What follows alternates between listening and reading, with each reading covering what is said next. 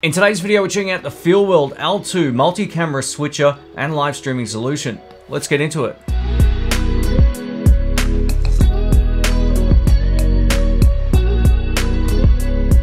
Welcome back folks, my name's Shane. Before we get started, a massive thank you to FeelWorld for sending this out for the review. I really appreciate it. And like always, I'm going to be using this throughout the entirety of the video so you can see exactly how it works and it responds. Just to give you a quick rundown of my setup, I have three Panasonic GH5 cameras going into the first three HDMI inputs. In the fourth one, I have my Super Nintendo Mini. This HDMI output is going out into my Pearl Nano which is what is recording this entire video. Just to let you know, I'm also recording in my Panasonic GH5S, so you'll see a side-by-side -side now between the recorded quality going out of this into the Pearl Nano, which may be at the mercy of the Pearl Nano to some extent, but it's a good representation of streaming quality that you'll get out of this versus the actual camera recording. One of my favorite things about the L2 Plus is this 5.5 inch touchscreen. I've currently got it set up to preview mode, which allows you to see exactly what's going on on all inputs. I'm also recording the multi-view to an external recorder, but just know I'm doing it in a less than optimum way. There wasn't any other way I could work out how to do it without sacrificing either the primary recording or this multi-view recording. So what you see right now might be a little bit laggy or a little bit choppy, but it's the best I could do. It doesn't reflect what I'm actually seeing on screen. Let's talk about using the FeelWorld L2 Plus. So this is primarily designed to be used with something like Open Broadcaster software. It can also be detected as a webcam and it will work with any service that supports that, including Facebook Live, YouTube, and a number of other streaming services. So if you plan on doing any type of multi-camera setup to the web, this will allow you to do it very easily while keeping the load on the system down, being that you can either output at 720p at up to 50 or 60 frames per second or full HD. For anyone doing any type of multi-camera work, whether you're recording a band or if you're a content creator making a video like this where you want to save all of that editing time with transferring lots of files to the computer, layering them up in Final Cut or Adobe or whatever it is you use, cutting them all, this will save you far more time because at the end of the day, you'll get one big file. One of the advantages of the L2 Plus is if you're in a corporate environment or in a venue, for example, where you either have a band or a speaker delivering something on stage, you can set up a multi-camera environment, send the HDMI out to a much larger screen or projector and share that with the audience. And lastly, if you want to up your webcam game, this will absolutely work as a dedicated webcam for your favorite mirrorless camera. Let's take a look at all of the inputs and outputs. So if we take a look at the back of the unit, we get four HDMI inputs, a HDMI output, and this is where we connect our power supply. Speaking about the power supply, I didn't actually get an AU plug because I live in Australia. Unfortunately, I had to use a different power supply. Luckily, I've got a few different switches, so another one was completely compatible. But if you live in Australia and you order one of these, just double check you're getting the AU plug. On this side of the unit, we have our Ethernet port and USB 3.0 port. We also get an audio input and an audio output. I'll speak more about the audio a bit later on. A nice advantage to the Ethernet port is that it works in conjunction with the FeelWorld Live software as you can see on screen down here, it says L2 Plus, and that's detected with the correct IP. These other two are just demo accounts. And if I double click on the L2 Plus, as you can see, we get full control over the unit using this software. The FeelWorld Live software makes it far easier to adjust some of the parameters than using the unit itself, but both can be used in exactly the same way. One of the biggest advantages to the software is you can do it a whole lot faster than you'll be able to do going through the menus on the unit itself. If you have any issues detecting the L2 Plus on your home network via the FeelWorld Live software, I'm going to show you how to do that right now. From the top of the unit, hit the menu button over here. You can either use this wheel control to cycle through each of the parameters on screen or you can touch screen it. So I'm going to go to IP settings here. And then we're going to change DHCP to on. This is off by default and I recommend changing this before you do anything else or before you even plug in the ethernet port. That way it will be assigned an IP address from your home router. Let's talk about maybe the best feature of this unit and that's the 5.5 inch touchscreen. So we can either switch by using these buttons on the actual switcher. It's a bit of a no-brainer there. Or we can tap on screen to do exactly the same thing. Now you might be thinking to yourself, isn't that a little bit redundant being that we've got buttons? Why do we need a touchscreen? I'll show you that right now. So if we take a look at the top down here, we can go from multi-view mode to program mode just by holding down on the program mode. Boom, there it is. So now we use the buttons and we get a nice big display of exactly what's going on. If we want to get out of this, hold down again and it will go back into multi-view mode. That little message that comes up on screen is just telling you what mode you're currently in. And then you can go back to using the unit like normal, or of course you can use the touchscreen. When it comes to the input and output frame rates and max resolution, this can support 1080p up to 50 and 60 frames per second, and you can decide between them both depending on if you're in a PAL or an NTSC region. It can also handle multiple frame rates going in. Now the Super Nintendo Mini has a different refresh rate to my cameras and this will scale that 720p 60 frame rate up and back to 1080p at 50 frames per second because that's, I'm in a PAL region, that's what I'll be outputting this particular file at and it does that without any problems. This doesn't support 4K, so if you're looking for a 4K switcher, this isn't the unit for you. The L2 Plus has a lot of built-in transitions and crossfades. I've currently just got it set up so it cuts instantly when I push a button or if I tap on screen. I much prefer this kind of workflow over the fades and dissolves, but I'll show you a few of those right now. You can also use this transition bar to go between one scene to the next. And I've currently got that disabled because I don't personally use it, but I'll show you it as well. So we tap on the SW button over here. The first option is mix. We can either tap on screen or we can use this control here. And we get a whole lot of different ones. These are pretty much the same as what I saw on the prior unit. So if we go to fade, as I go between like this now, you're going to see it's going to cross fade across, which is pretty cool. Let's just go through a few here. This is another zoom one. This is a push to the right. This one's a push down. Bottom right hand corner. That one's kind of cool. You could see that being used occasionally maybe. This one's the opposite, going to the left, which is great. This one's going up. Get the barn door effect. There we go. So some of these are really cool. Again, whether or not you like any of these will be up to personal choice. Some of these are a bit much for me, but um, yeah, there you go. So that's all of them. So you like the crossfade, but you want to extend its duration to make it a little bit longer or shorter, depending on your particular needs. I'll show you how to do that right now. So we hit the SW button again, and we go over to mode. We can then change the time. It's currently set to 0.5 seconds we can set this to a maximum of 5. But 5 is a bit long, so I'm just going to do 2.5, which is right in the middle there. And now when I change over to the next scene, the crossfade's going to be far slower. Now this is far too slow for me, but you get the point, right? You can set it anywhere you like. I much prefer having this at its fastest time, which is 0.5 seconds. If I'm going to be using crossfade effects like this, the slower, the faster the better. The slower the more annoying for the viewership. So yeah, like this, it works really well.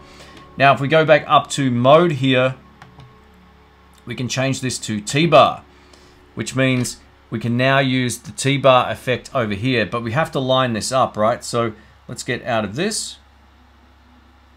So this means now that we can use this in a number of different ways. We, we're currently on three, and I want to transition to two.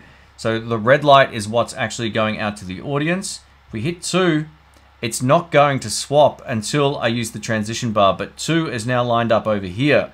So as I bring this down, at my own speed, it will transition. So if I go fast, it will go back a lot quicker than at this kind of speed, right? And it does it really smoothly as well. Interestingly enough, even if I'm not that smooth with the T-bar, it still looks smooth going out to the audience. So I like what they've done or you can get a crossfade like this. So if you're doing a music video, for example, that might come in really handy. But yeah, I much prefer just having fast cuts or at least fast crossfades, but there's plenty in here to keep hopefully most people happy. The L2 Plus supports picture-in-picture, -picture, and you can also change which one you want to modify, whether that's the small image on screen or the large one behind it, and I'll show you how to do all of that right now. The easiest way to do this is to start on the image that you want to be the primary view. So being that I'm doing a tutorial on this, I want to just show you how this all works. And then I'll bring up a secondary screen on screen that's a little bit smaller. So if we hit the SW button over here,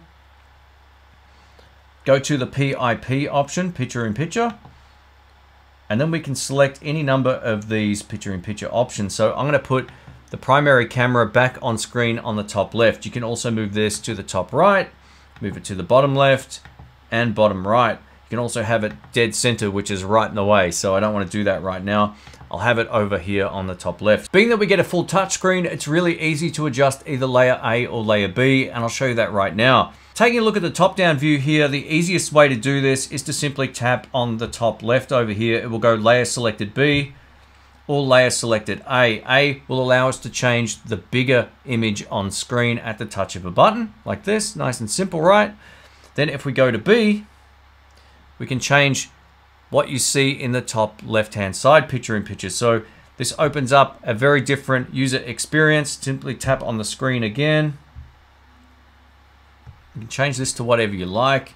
And then if I tap on it again, I can put me back on screen. There's also a couple of other picture-in-picture -picture modes that just don't look quite right. And this is one of my biggest criticisms of the prior unit. It's not a deal breaker by any stretch of the imagination, but it's just something to be aware of. So if we tap the SW button again, we go back into picture-in-picture, -picture, is all of these split screen modes that all look like they need to be de-squeezed. And I had some success doing that in post, but if you're going to be doing live streaming, this is unusable, right? So maybe this is for some sort of anamorphic style video. I'm not 100% certain, but uh, you get all of these different split screen effects. The L2 Plus also supports pan tilt zoom cameras or PTZ cameras. So if we take a look at the menu here, we can go to SW and then pan tilt zoom is one of the options here.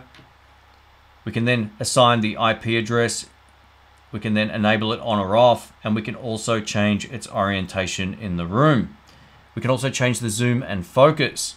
I don't own a pan tilt zoom camera, but I have tested one that was out on loan a little while back with other switching solutions that are very similar to this, and I could operate them without any problems at all, and this looks identical. The FeelWorld L2 Plus also offers logo support. If this is your first time adding a logo, you need to do this via the computer, and I'll show you how to do that right now. If we take a look on screen, we go over to SW, Effects, Logo Overlay. Now, I've already added one of these right here. To get the logo to successfully upload, you need it to be a 24-bit BMP file without being larger than 256 pixels by 128 pixels, or it can be square if you're going to be doing, say, 128 by 128. That's the maximum resolution. So with that in mind, it doesn't support PNG files, which is a little bit of a downer. But if we go back to the screen here, once you select the picture that you want, click open, and then you click on logo generated. Once you do this, it will then upload that particular file to the switcher and it will see picture update on screen here. Once it hits 100%, you're good to go. You don't need to reset the device or do anything. It will just work. Now to turn the logo on and off, you can simply use the software or the switcher. From the same menu we uploaded the picture from, we can simply click it on and there it is. I Google searched for free BMP and that's what came up. So that's what we're using. I probably should have found a square one, but anyway, it works. So we can reposition this either in the X axis, so across or Y, up and down. I'll just show you this quickly. So if we want to set it to the other side of the screen, we can simply do that just by moving the x-axis in the software here. And then you can hit set again and you can bring it back. The y-axis will control the other axis, which is this. So you can move it around nice and simply. This takes a bit of finessing, so just do this ahead of time. Don't do it in the stream, otherwise you'll be fiddling around with it. If you want to do the same thing with the actual switcher, I'll show you how to do that right now. We go into SW over here. We go down to logo. And then we get the same options on screen here that we do in the software. This may be slightly more intuitive because we can just use this button on screen here, the touch screen to move it around. So if you are forced to do this, you know, in the moment, you can do it. It's kind of a bit clunky, but it works. You can simply just, as you can see, I'm doing this in real time so you can see just how it moves. It starts off slow and then it starts moving faster, so just be wary of that it has like a speed increase the longer you hold down, which makes sense, but it just takes a bit of getting used to. Let's cover the chroma keying aspect of this. So does the L2 Plus support it? Yes, it does, except I don't have this room lit correctly for chroma keying. While I do have a blue backdrop here, it's not lit in the correct way to get the best effect. And as you can see, there's light and stuff bouncing off my laptop here, so it's not looking perfect whatsoever, but it does work, and I'll show you how to do this. So in the options on the software, if we go into the effects menu again, we can turn chroma keying on and off by using this slider. We can also select a generic color. So we've got orange, yellow, green, cyan, blue, and purple. Blue was the closest to the denim color that I've got behind me, so that's what I went with. And then I just had to move the sliders back and forth until something happened. It's quite fiddly. I didn't just turn it on and it worked. I had to sort of fiddle around, and this is the best I could get it in this room. Again, this backdrop isn't lit correctly for doing this, but I wanted to show you a practical example of how this works. To get back to this view with chroma keying enabled, all I had to do was hit on input source number one, and it looks like as it would normally, but without the red light on. I've had to turn that off for this particular demonstration. Now, if I hit four again, it's going to key out the backdrop and I'm good to go. Now to change which layer you're keying with the controls either on the switcher itself or on the software, you can tap on the program and preview mode on screen and it will say layer selected B, layer selected A, and this will control which one actually gets keyed out. When I first turned on the L2 Plus, I was quite surprised just how loud the fans were, but this can also be a good thing because it keeps the unit very cool. I've been using this for a few hours as of shooting this video, and it's not that hot to the touch, so the fans really work. But just know if you've got a shotgun microphone facing it or if a shotgun microphone's out of shot pointing towards you, you may hear this. So what I'm going to do now is show you how to adjust the fan speed and I'm also going to bring down the shotgun microphone so you can hear the difference. So to adjust the fan speed, hit the menu button over here, go down to settings, go down to fan speed. Now I'm going to bring the shotgun mic down, fan speed 2,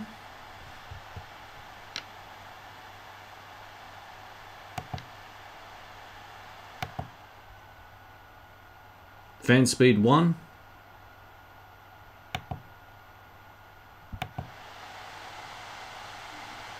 Fan speed 3. So as you can probably hear, fan speed 3 really ramps up the fan. So if you're in a really hot shooting environment or if you're doing anything outdoors with direct sunlight, keep it on 3 the entire time. If you're shooting in a studio situation like this, 1 or 2 should be fine. Let's talk about the audio options because audio is just as important as video, especially if you're going to be doing any type of live streaming. This does have its limitations. I'm going to cover that in this particular section, as well as some positives. So if we take a look at the unit, we can hit the menu button over here, go down to audio, click the button, and then we go down to source. So we get four different inputs we can choose from. Source input one, two, three, or four. They're the HDMI inputs. Then if we go the other way, we get line in and we get audio follows video. Now audio follows video means every time you push a button, it's going to switch to the audio source of whatever device that is.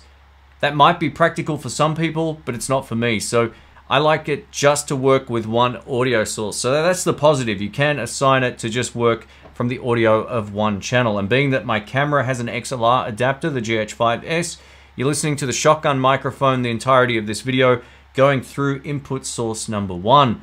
As it is right now, you can't mix the audio from input source 4 and input source 1, which is a huge bummer. I really felt like this would have been a perfect solution for most people had they have enabled that. Let's take a look at the audio preamp. So on the side of the unit over here, we have a 3.5 millimeter input jack. This can be assigned to either line or microphone level input, which is awesome and I'll set it to line input. I'm going out of that from a Behringer mixer, just a standard analog mixer, and I'm to enable this microphone going in. There's also something you need to know, and I'll show you that now. So to get the external microphone to work, hit the menu button over here, go down to audio again, change the source to line in, and then hit the button on top of the unit, and now you should be listening to the Rodecaster Pro.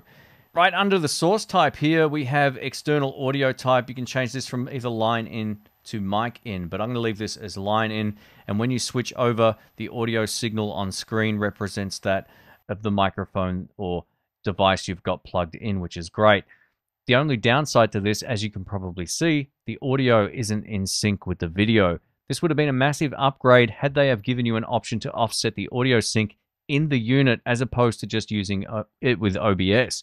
Now, the good news is the instruction manual actually covers how to do this in Open Broadcaster software. So if you are streaming with this, it's pretty common that HDMI delay and analog delay are always a little bit different in terms of milliseconds. So you've got to always do that in Open Broadcaster software. But some switches just work straight out of the box. It's a bit of a downer that they didn't add an audio sync delay to this analog source.